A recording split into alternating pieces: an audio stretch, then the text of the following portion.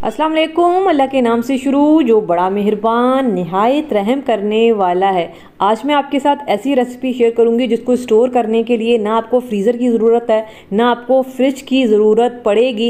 इसको आप बग़ैर फ्रिज फ्रीज़र के सालों साल स्टोर कर सकते हैं। ना इसका कलर ख़राब होगा, ना इसका टेस्ट ख़राब होगा। तो आज हम बनाएँगे हरी चटनी, क्योंकि हरी चटनी जब हम बना के फ्रिज में स्टोर करते हैं तो कुछ टाइम के बाद इसका कलर ख़राब हो जाता है, इसका टेस्ट ख़राब हो जाता है, लेकिन आज मैं जो तरीका बताने वाली हूँ, ये बहुत ही बेहतरीन है। तो चलिए फिर जल्दी से रेसिपी को स्टार्ट करते हैं। रेसिपी पसंद आए चैनल को ज़रूर सब्सक्राइब करना है। स्टार्ट करेंगे बिस्मिल्लाहिर्रहमानिर्रहीम। तो यहाँ पे जी सबसे पहले हम लेंगे एक अदद पैन, और पैन में मैं डालूँगी तकरीबन मेरे पास सात जवे लहसुन के थे, और इनको मैंने बिल्कुल बारीक काटा है। ये देख रहे हैं, ये बिल्कुल बारीक बारीक हमने काटना है ताकि हमारा काम जल्दी भी हो जाए, और हमारा काम जो है वो आसानी से हो जाए। ये बिल्कुल बारीक हमने इसको चॉप कर लेना है, लहसुन को। इसको पैन में डालेंगे। इसके अलावा अदरक चाहिए होगा, तकरीबन दो इंच का टुकड़ा मैंने अदरक का लिया और उसका छिलका उतार के और अदरक को भी मैंने बिल्कुल बारीक काटा है, ठीक है? ये फिर जल्दी हो जाएगा, ज़्यादा टाइम नहीं लगेगा इसको पकने के लिए। अब हम क्या करेंगे, आँच को हल्का रखेंगे और हल्की आँच पे हमने इसको इतना पकाना है कि ये बिल्कुल ड्राई हो जाए, ठीक है? मकसद बस ये है कि हमने इनको ड्राई करना है। ये काम आप धूप में भी कर सकते हैं, इनको काट के धूप में रखें और धूप में भी ड्राई कर सकते हैं, लेकिन ये वाला काम थोड़ा सा जल्दी हो जाएगा हमारा अब ये देख रहे हैं, ये काफ़ी हद तक ड्राई होना स्टार्ट हो गए हैं और हल्के फुल्के हो गए हैं। थोड़े से और मज़ीद करेंगे तो ये देखें जी, ये इस तरह से बिल्कुल ड्राई हो जाने चाहिए। अब मैं इसमें डालूँगी हरी मिर्चें। तकरीबन पाँच से छः हम हरी मिर्चें लेंगे। हरी मिर्चों को लहसुन अदरक के साथ इस वजह से नहीं डाला था, क्योंकि लहसुन अदरक में पानी ज़्यादा होता है, हरी मिर्चें जो है वो जल्दी ड्राई हो जाती और फिर लहसुन अदरक जो है वो देर से होता है। इस वजह से हरी मिर्चें हमने बाद में डालनी है। और ये देखें आप हरी मिर्चें भी ड्राई हो चुकी हैं और अब हम इसमें डाल देंगे। ये तकरीबन एक पूरी गड्डी मैंने ली है पुदीने की। हरी चटनी बना रहे हैं तो ज़ाहिर है पुदीना ज़्यादा ही जाएगा तो पूरी गड्डी हम डालेंगे पुदीने की। इसके अलावा हरा धनिया और हरे धनिए की भी पूरी गड्डी हम इसमें डालेंगे। ठीक है, जो भी चीज़ आपको हरा धनिया ज़्यादा पसंद है तो हरा धनिया आप ज़्यादा डाल सकते हैं। पुदीना ज़्यादा पसंद है तो आप पुदीना ज़्यादा डाल सकते हैं, आपकी मर्ज़ी है। अब इनको भी हम पकाएँगे और इतना पकाएँगे कि ये बिल्कुल ड्राई हो जाए। आप चाहें तो हरा धनिए की गड्डी लें, पुदीने की गड्डी लें, रात में आप इसको पंखे के नीचे रखें तो सुबह तक ये ड्राई हो जाएगी।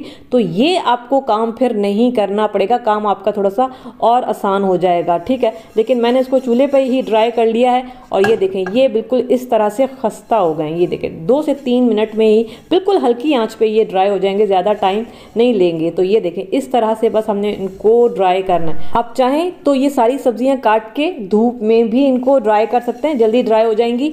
एक दिन बस लगेगा। नहीं तो फिर आप मेरी तरह इनको चूल्हे पे भी इस तरह से ड्राई कर सकते हैं। मैंने नॉन स्टिक पैन लिया है, आप तवे पे भी ये काम कर सकते हैं, उस पर भी इजीली हो जाएगा। अब मैं इसमें डालूँगी भुने हुए चने, तकरीबन टू टेबल स्पून बहुत ज़्यादा नहीं लेंगे, नहीं तो फिर भुने हुए चनों का ही टेस्ट आएगा और इनको हम भुनेंगे नहीं, क्योंकि भुने हुए चने पहले से भुने हुए हैं। इनको हम डाल देंगे ग्राइंडर में और डाल के हमने बिल्कुल पाउडर बना लेना है। तो ये देखें जी, ये सारी चीज़ें हमारे पास पिस कर आ गई हैं और अभी मैं आपको दिखा देती हूँ कि ये बिल्कुल फ़ाइन पाउडर चाहिए। अभी मैं इसको थोड़ा सा और मज़ीद पीसूँगी, लेकिन मैं आपको सिर्फ़ इस वक्त दिखा रही हूँ, क्योंकि इसमें बाकी की और चीज़ें भी जाएँगी। अब इसमें क्या क्या चीज़ें जाएँगी? मैं इसमें डालूँगी two and half tea spoon ठीक है? साबित सफ़ेद ज़ीरा।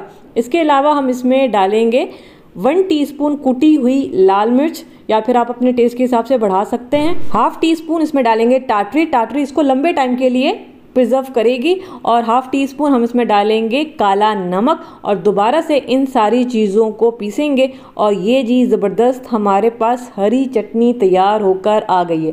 अब ये वो तरीका है ना, इसको आप दो साल, तीन साल भी रखेंगे, ना इसका टेस्ट ख़राब होगा, ना इसका कलर ख़राब होगा और बिजली जाती है तो जाए, लेकिन आपकी चटनी ख़राब नहीं होगी। इसके बाद इसको स्टोर करने के लिए एक अदद साफ़ सुथरी हम बोतल लेंगे कोई भी ले लें, लेकिन वो ड्राई होनी चाहिए, गंदी नहीं होनी चाहिए गीली नहीं होनी चाहिए। उसमें हमने ये पाउडर भर के रखना है और फिर आप इसको किचन में किसी भी ड्राई जगह पे रखें। साल, दो साल के लिए आप इसको स्टोर करें। बकरा ईद आएगी अभी रमज़ान के बाद, तब तक भी ये आपकी चटनी ख़राब नहीं होगी। ना इसका टेस्ट ख़राब होगा, ना कलर ख़राब होगा, क्योंकि फ्रिज में जब हम ये चीज़ स्टोर करते हैं तो फिर चटनी हमारी ख़राब हो जाती है कलर ख़राब हो जाता है कुछ टाइम के बाद। अब इसको बनाने का तरीका ये है कि आधा कप मैंने इमली का रस लिया है और इसमें हम टू टेबल स्पून या two and half table spoon ये पाउडर डाल देंगे चटनी का। मैंने इमली का रस लिया है, आप चाहें तो पानी भी ले सकते हैं, ठीक है? पानी में भी आप ये चटनी बना सकते हैं, लेकिन मैं इमली वाली चटनी बना रही हूँ,